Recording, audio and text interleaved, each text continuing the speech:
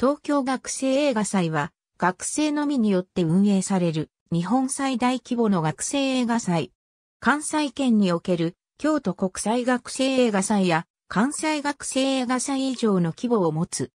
東京学生映画祭は全国の学生から映像作品を募集し、予選を通過した作品を本戦で上映、グランプリや各種特別賞を決定する最大規模の学生映画のコンペティション。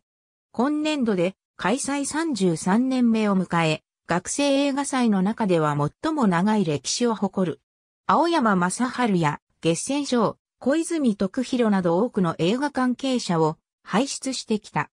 東京学生映画祭の大きな特徴の一つとして挙げられるのが企画、運営の一切を学生のみで行っているということである。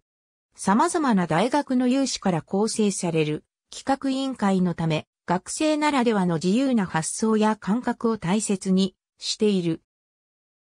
映画に携わるすべての学生同士のつながりの場を提供するとともに、学生映画という部分から日本映画界の振興に貢献し、映画を制作する学生と映画界の架け橋となるような活動を行っている。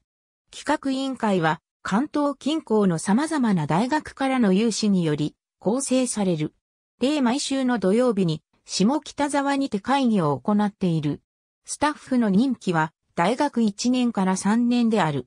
進行部、広報部の2つの部署に分かれて運営を行っている。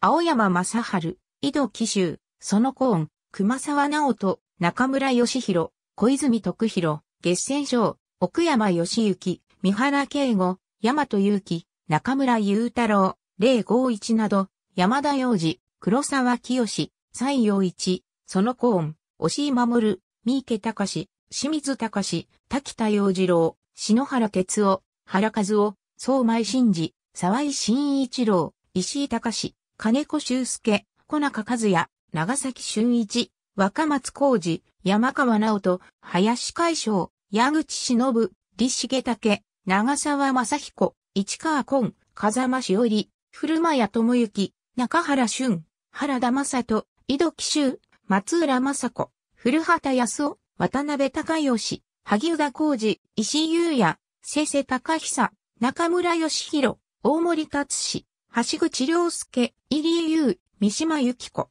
小林圭一、深田浩二、大久明子、井口奈美、横浜里子など、長瀬正俊、古田千漢治、明田康人、寺島進、ケラリーノ・サンドロビッチ、田口智郎など、渡辺恵里子、梅津和夫、手塚誠、山田太一、ウリア、宮城勇、伊藤悟りなど、ありがとうございます。